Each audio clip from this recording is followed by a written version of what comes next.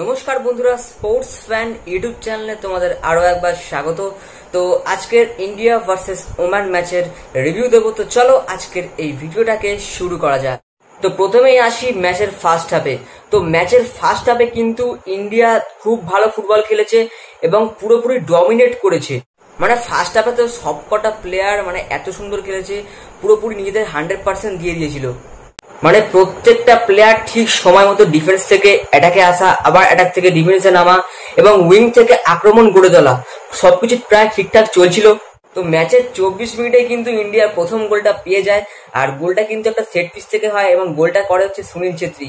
মানে গোলকিপারকে একদম নড়তেই দেয়নি, সুন্দর একটা ফিনিশ মানে ওমানের ডিফেন্ডাররা ভাবতেই পারেনি যে সুনীল ছেত্রী গিয়ে ওখানে গোল করতে পারে। এছাড়াও ফার্স্ট হাফে ইন্ডিয়া আরও অনেকগুলো চান্স পায়, কিন্তু সেগুলো গোলে কনভার্ট হয়নি। যদি গোলে কনভার্ট হতো, তাহলে তিন গোলে ইন্ডিয়া জিততে পারতো। তো এবার আসি সেকেন্ড হাফের কথা। সেকেন্ড হাফে কিন্তু পুরোপুরি অন্য ইন্ডিয়া আর অন্য ওমান। সেকেন্ড হাফে কিন্তু ওমান পুরোপুরি ডমিনেট করেছে। ইন্ডিয়া কেন যে আলট্রা ডিফেন্সিভ হয়ে গেল সেটা বুঝতে পারছি না। জানি না কোচের কি স্ট্র্যাটেজি তো আমার সঙ্গে অনেকেই একমত হবে যে ইন্ডিয়া যদি সেকেন্ড হাফে আরও চান্স ক্রিয়েট করতে পারতো উইং থেকে আক্রমণগুলোকে তুলে আনতে পারতো, তাহলে কিন্তু ইন্ডিয়া এই ম্যাচটা কিন্তু আরও গোলে জিততে পারতো। মানে ওদেরকে খেলায় কিন্তু আসার সুযোগ করে দিয়েছে ইন্ডিয়া। আর ফার্স্ট হাফে যেটা আমরা দেখেছি, ইন্ডিয়া যেটা করছিল সেটা হচ্ছে পাসিং ফুটবল ছোট ছোট পাস খেলে এগিয়ে যাওয়ার চেষ্টা করছিল। কিন্তু সেকেন্ড হাফে আমরা দেখতে পেয়েছি, কেউ না কেউ মানে অনিরুদ্ধ থাপা হোক বা আশিক কুরুনিয়ান হোক, এরা কিন্তু বল নিয়ে রান করার চেষ্টা করছিল। সেটা কিন্তু এই ধরনের লেভেলের ম্যাচে একদমই অবাঞ্ছনীয়। আর ম্যাচের পঁচাত্তর মিনিটের পর থেকে কিন্তু আমার অন্তর লেগেছে মানে আমার নিজের ব্যক্তিগত কথা বলছি।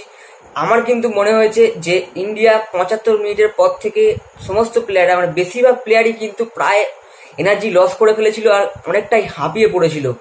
তো এর থেকেই বোঝা যায় যে ইন্ডিয়াকে কিন্তু আরও ফিটনেস লেভেল তৈরি করতে হবে এবং নব্বই মিনিট খেলায় কিন্তু প্রবণতা রাখতে হবে প্রত্যেকটা প্লেয়ারকে তো এতটা আল্ট্রা ডিফেন্সিভ হয়ে যাওয়া যা হার ছিল তাই হয়েছে। ইন্ডিয়া ম্যাচের বিরাশি মিনিটে গোল খেয়ে যায় আর গোলটা করে হচ্ছে আল মান্ধার এই খেলাটি কিন্তু ওদের মেন প্লেয়ার ছিল আর গোল করে যায় সে।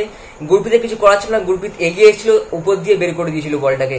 আর তারপরেই এই আলমান্দার আরও একটা গোল করে ম্যাচের নব্বই মিনিটে, তখনই কিন্তু সব আশা শেষ হয়ে যায়। তো শেষে একটাই কথা বলব, ইন্ডিয়া কিন্তু ভালো ফুটবল উপহার দিয়েছে। কিন্তু ব্যাড লাগ ইন্ডিয়া যে ম্যাচটা হেরে গেছে, কেননা ইন্ডিয়া কিন্তু এই ম্যাচটা হারার কথা নয়। তো ইন্ডিয়া কিন্তু এই ম্যাচটা হেরেছে দুটো কারণে। এক হচ্ছে ডিফেন্সিভ মাইন্ড নিয়ে খেলার জন্য সেকেন্ড হাফে আর দুই হচ্ছে প্লেয়ারদের ফিটনেস প্লেয়ারদের ফিটনেস কিন্তু নাইনটি মিনিটস খেলার জন্য আরও বাড়াতে হবে। তো যাই হোক বেস্ট অফ লাক ইন্ডিয়া পরের ম্যাচ কাতারের সঙ্গে। আশা করি ইন্ডিয়া ভালো কিছু করবে। তো ভিডিওটাকে ভালো লাগলে অবশ্যই লাইক করো চ্যানেলটাকে সাবস্ক্রাইব করো। ধন্যবাদ।